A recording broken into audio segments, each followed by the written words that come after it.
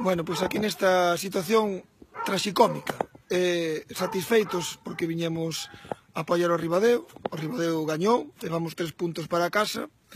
pero eh, o cómico, por non dicir o triste, é que levamos aquí 50 minutos eh, de demora na estación de Covas, como vedes, tesos de, de frío esperando por un tren que non dá chegado. Supoñemos que chegará e supoñemos que chegaremos a, a Ribadeo, pero desde logo hoxe quixemos vir apoiar a, ao Ribadeo, pero tamén quixemos vir reivindicar eh, que queremos unos medios de comunicación eh, modernos do século XXI, eh, contra, eh, contrastamos e eh, probamos en carne propia pois o que significan as demoras cando non creemos que haxa demasiada xente circulando no tren eh, a esta hora. Así que é unha, unha proba verídica de que é necesario eh, empuxar entre todos para reivindicar un tren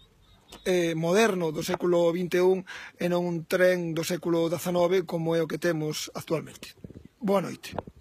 Eh, e ala Ribadeo.